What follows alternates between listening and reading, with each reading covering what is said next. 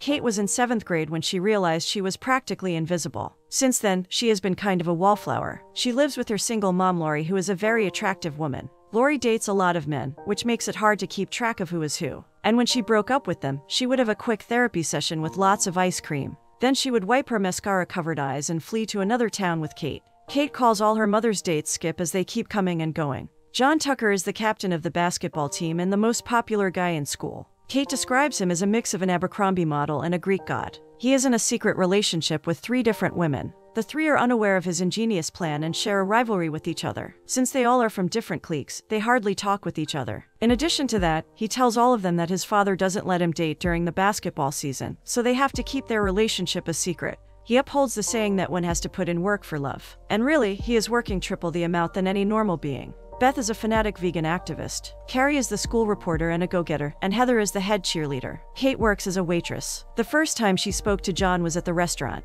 It was more of her trying to remember the alphabets than having a full blown intelligent conversation. Kate learned about John's chicanery when she saw him bring three different women every time he came out on a date to the cafe. His act would change according to the girl he brings in. But as is said, one cannot go long with deception. And one day that opportunity came. One day John smiled at Coach Claypool, which made her pass out. It turned out to be acute angina, and she took early retirement. As a consequence of the event, all the gym classes were combined. Beth, Carrie, and Heather were put on the same team during the ball game. Heather hears Carrie say she is dating John and smacks her on her face with the ball, twice. A fight breaks between Carrie and Heather, and Beth tries to pull them apart but soon joins in after learning the two are dating John. Kate and the new coach also face the wrath of the three. They calm down after a bunch of slaps, punches, and smacks with the balls. Kate reminds them that instead of questioning John, they are going after each other. He is the one cheating, so he should be answerable. The four girls end up in detention. Scott is the only one in school who recognizes Kate. They meet in the detention, where Scott is humming Cheap Trick, and he is way out of tune. He reveals John is his elder brother. After he leaves, the four girls are alone in detention, and they start talking. Kate makes them realize what men like him do to play with the girls' feelings and hints at getting even with him. Later in the evening, Carrie, Beth, and Heather meet at Kate's home. They plan to put his face in an embarrassing advertisement, but that backfires when he wins a Teen Responsibility Award for being the face of it. Scott and Kate develop a bond when Scott asks her to be his lab partner. The girls devise another plan to bring down John. They start giving him estrogen, which makes John have a meltdown in the middle of the game. But this plan also doesn't work as he wins all the girls' hearts, and they come drooling over the fact that apart from being very attractive, he is also a sensitive guy. To add to their dismay, John breaks up with all three of them, earning much deserved slaps on both his cheeks. But he is a player and doesn't really care. While sulking together, they come up with a plan to break John's heart as he did to them. Since Kate has never been with John, they suggest Kate pretend to date him, and once he is head over heels for her, she dumps him. Kate is not sure at first but gives in after the girls plead with her. The plan brings the four together emotionally. Each girl individually trains Kate. Heather gives Kate tips on being confident. She instantly catches John's attention. So the girls escalate their plan and ask Kate not to give John the attention he usually is used to, instead act disinterested. It works, and John is baffled at the thought of some girl turning him down.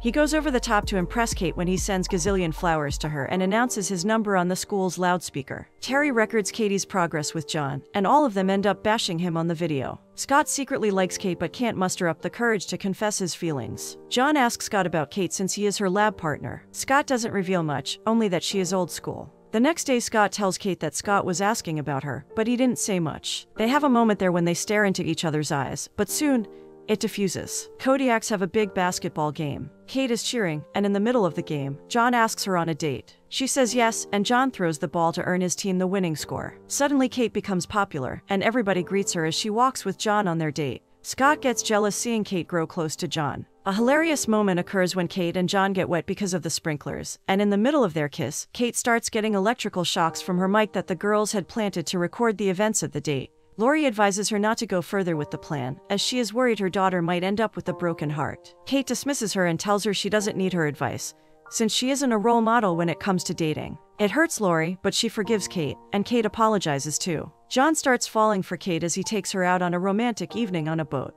Beth notices Kate has developed feelings for John too. They convince Kate that John had them under his spell too, and to prove that John is not serious about Kate, Carrie goes to the boys' locker room to record how John actually feels about Kate. She records him boasting about how he has got his way with Kate. Kate meets Scott in the chemistry lab. She is expecting him to be her partner again, but Scott turns her down and says he is going to pair up with Alex. Kate feels a bit sad and walks away. Back home, Justin comes to pick Lori up on a date. Kate slams the door in his face and asks her mom not to go out with the skip again. She proceeds to tell her mom that she is messed up because of her mother's ways with men. She has never seen a functional relationship. Kate angrily states that Lori could never see how her behavior affected Kate before leaving for the party. The team has won the semifinals and is at a hotel for the celebratory party with the entire college. Kate doesn't seem sure if she wants to continue with their plan.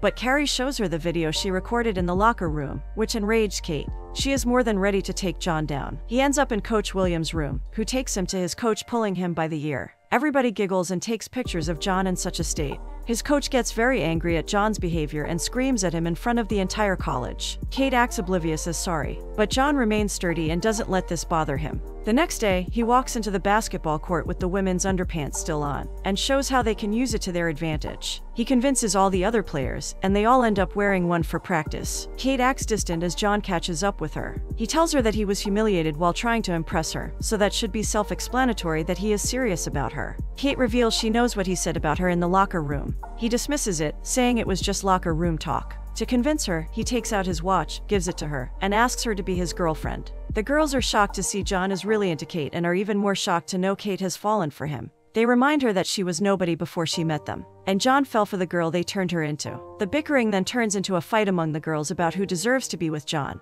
Kate intervenes and tells them that their revenge strategy will not work, as they all are obsessed with John and taps out of the plan. Scott sees Kate coming out of the classroom and is shortly followed by the girls. He grows suspicious and follows them. He catches up with Kate near the lockers and confronts her about what she is doing with the three girls who could never be friends. She realizes what this plan has turned her into and feels guilty about it. Back home, Kate has a hearty chat with Lori about what is going on. Her mom encourages her to be authentic to herself in order to find who her real friends are. Katie leaves for John's birthday party to tell him everything gets ruined. When her video of telling John he is not the one for her plays on the big screen, Carrie, Beth, and Heather wanted to go ahead with the plan with or without Kate, so they gave the entire video recordings to Tommy, John's best friend, to play, calling it John's birthday gift. Kate confesses everything to John and tells him how she, along with Carrie, Beth, and Heather, devised this whole plan to make him feel what it feels like when someone breaks their heart. She also confesses that she had turned into something she couldn't even recognize. But now she is done being pretentious. One of the kids calls her name and splashes the entire drink on her because she ruined the party. Everybody starts hooting, and Carrie, Beth, and Heather climb on the stage to rescue Kate.